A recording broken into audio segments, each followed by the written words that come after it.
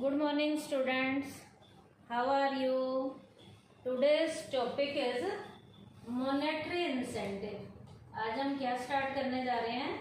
Monetary incentive start करने जा रहे हैं। मोटिवेशन में बेटा टू टाइप्स के इंसेंटिव्स होते हैं।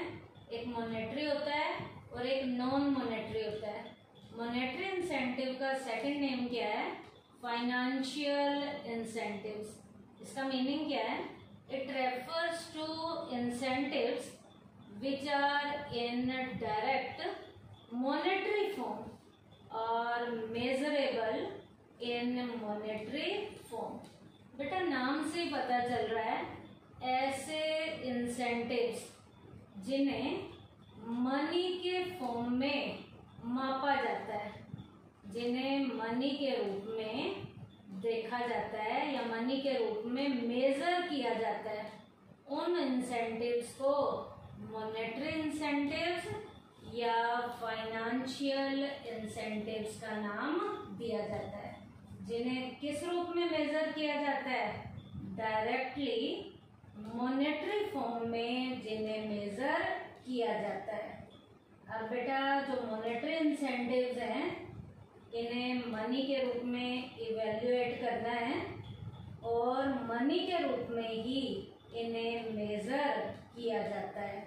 जैसे एग्ज़ाम्पल है, बेटा, आपका मनी के रूप में आपको मेजर करना है तो इसके जो मॉनेटरी फॉर्म होंगी, जिन्हें मनी के रूप में हम मेजर करेंगे, इनमें generally financial incentives are helpful satisfy physiological and safety needs ये बेटा मास्लो की हायरार्की नीड में हमारी ये फाइनेंशियल इंसेंटिव दो नीड्स को पूरा करती हैं।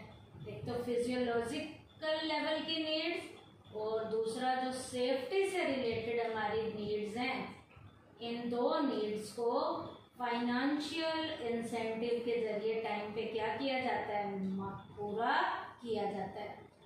Following can be included among the chief financial incentive नीचे अब मैं आपको कुछ बेटा फाइनेंशियल लेवल के इंसेंटिव्स की कुछ टाइप्स बताऊँगी, जिन्हें फाइनेंशियल लेवल के इंसेंटिव के अंदर क्या किया जाता है? इंक्लूड किया जाता है।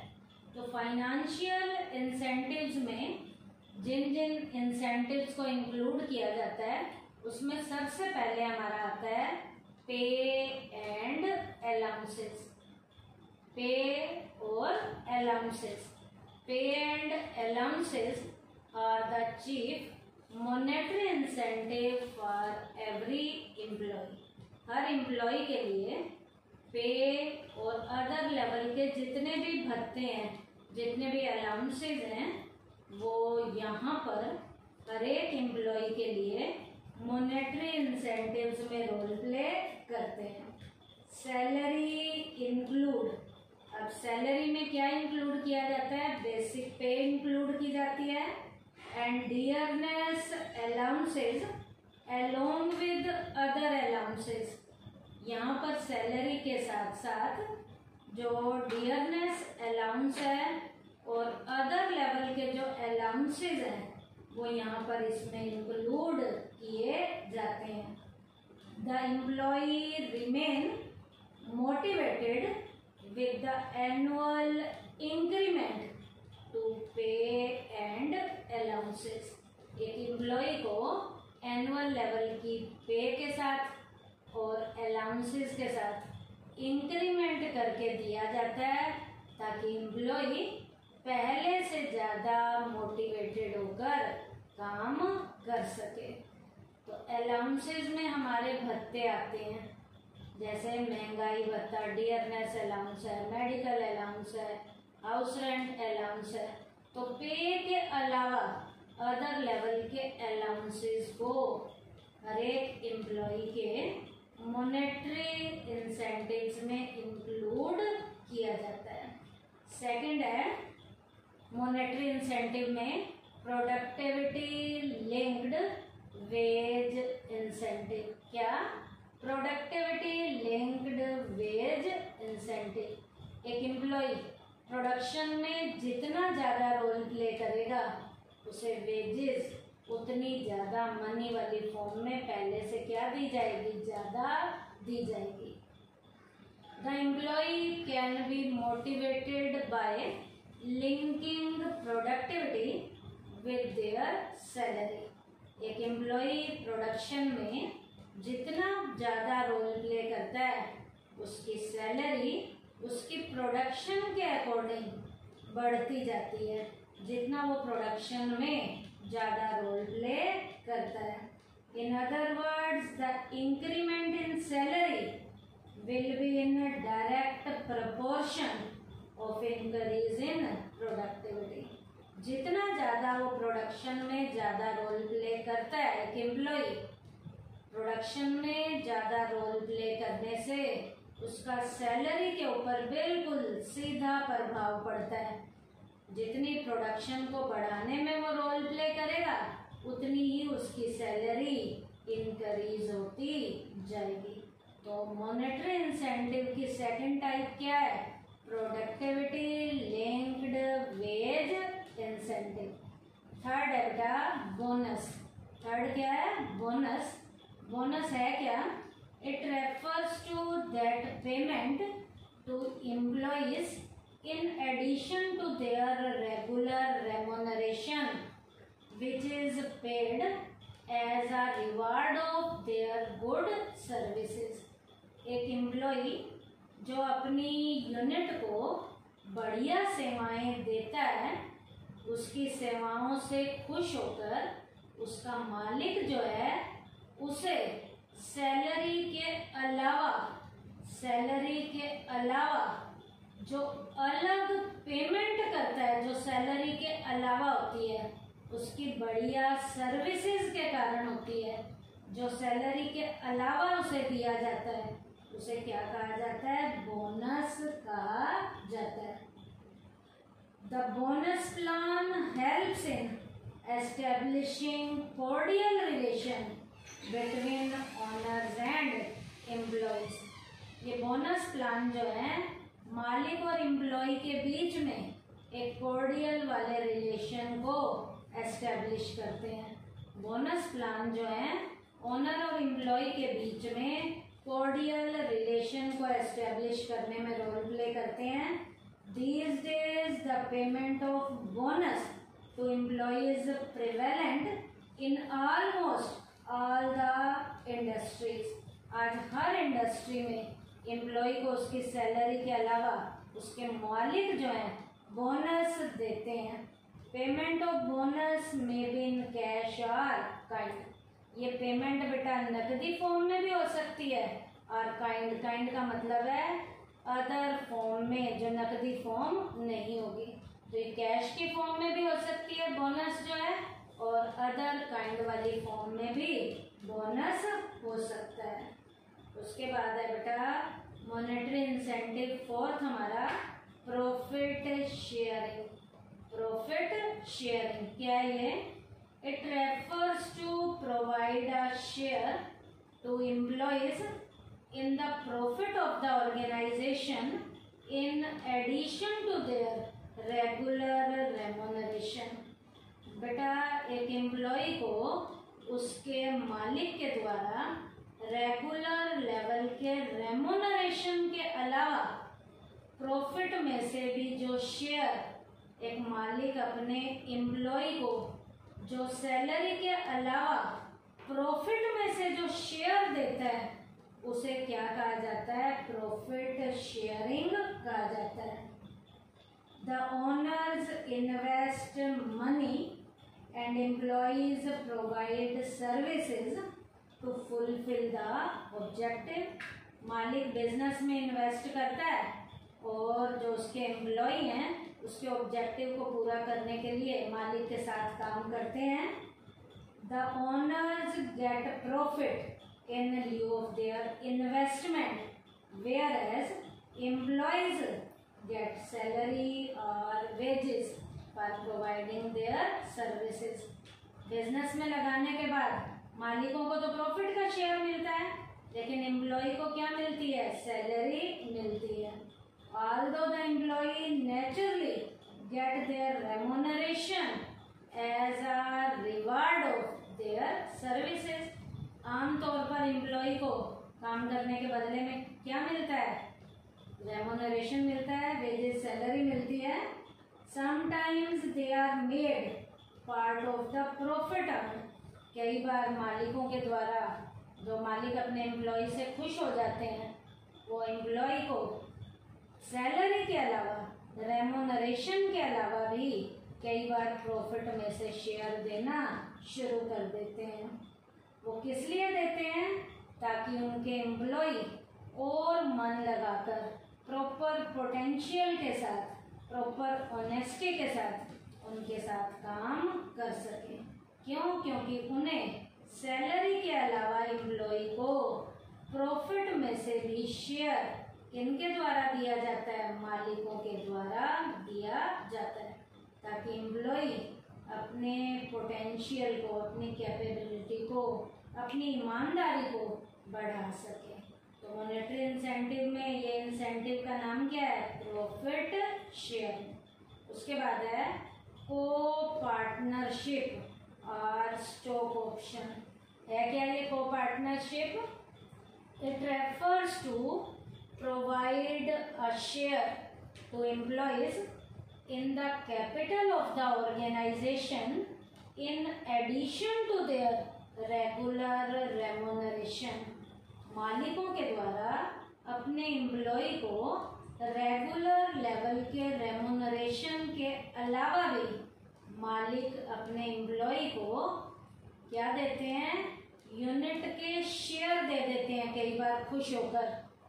ताकि वो यूनिट के मालिक के रूप में एज अ पार्टनर भी एम्प्लॉय को अपने साथ जोड़ते हैं, ताकि एम्प्लॉय के मन में फीलिंग आए कि हम इस यूनिट के एम्प्लॉय होने के साथ साथ मालिक भी हैं और वो और ज़्यादा यूनिट के प्रॉफिट में ये एम्प्लॉय रोल प्ले कर सके।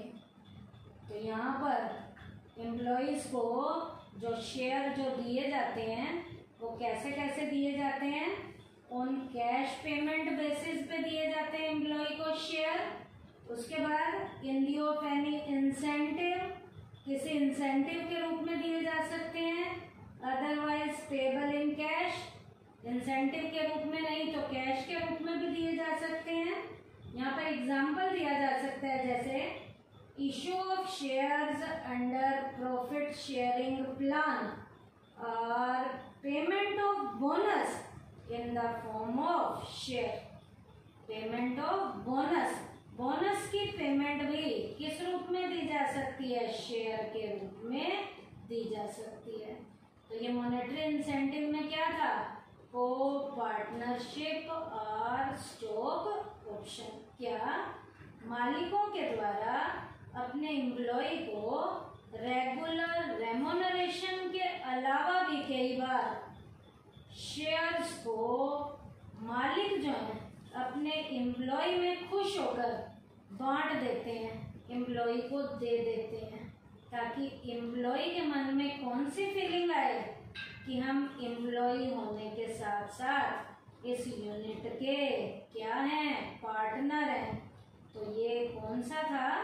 मोनेटरी इंसेंटिव में को पार्टनरशिप और सेकंड नेम इसका क्या है? स्टॉक ऑप्शन उसके बाद है मॉनेटरी इंसेंटिव में रिटायरमेंट बेनिफिट रिटायरमेंट के बेनिफिट भी एम्प्लॉय को देते हैं, मालिक देते हैं.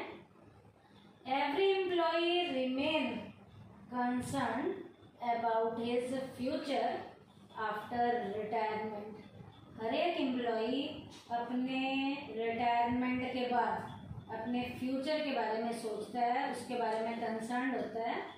If he is afforded financial security for his post retirement period his future will be secure यदि एम्प्लॉय को उसके रिटायरमेंट के बाद यदि सिक्योरिटी फाइनेंस से रिलेटेड दे दी जाए तो उस एम्प्लॉय का फ्यूचर क्या हो जाता है? सिक्योर हो जाता है।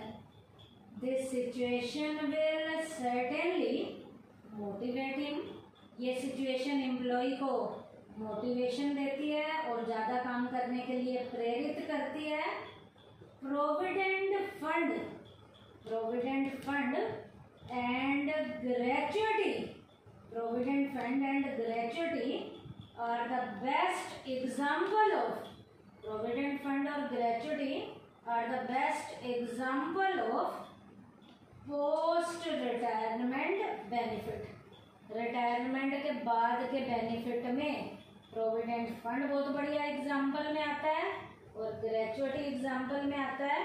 अब प्रोविडेंट फंड क्या है बेटा? आपको पता होना चाहिए। A fixed percentage of amount is deducted from the pay of every employee हर एम्प्लॉय की पे में से कुछ अमाउंट जो है, क्या किया जाता है? डिडक्ट किया जाता है and is deposited in this fund और इस फंड में क्या किया जाएगा? जमा किया जाएगा। The employer also make his contribution इस फंड में मालिक के द्वारा भी कुछ पैसा जोड़ा जाता है कंट्रीब्यूट किया जाता है।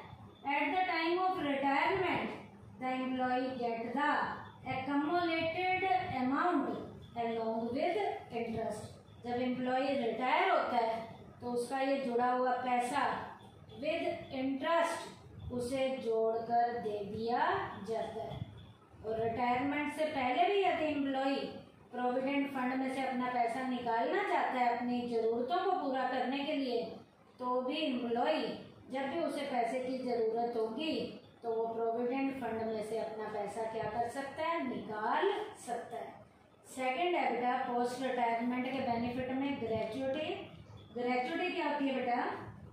In token of the services rendered by the employee the employer make some payment to the employee at the time of retirement which is called gratuity एक एम्प्लॉय के बढ़िया काम करने के बाद मालिक के द्वारा उसकी बढ़िया सर्विसेज़ करने के लिए मालिक के द्वारा उसके एम्प्लॉय को उसकी सर्विसेज़ बढ़िया करने के बदले में जो कुछ मालिक के द्वारा उसे दिया जाता है, वो किसमें आता है? ग्रेचुटी में आता है। तो ग्रेचुटी है क्या?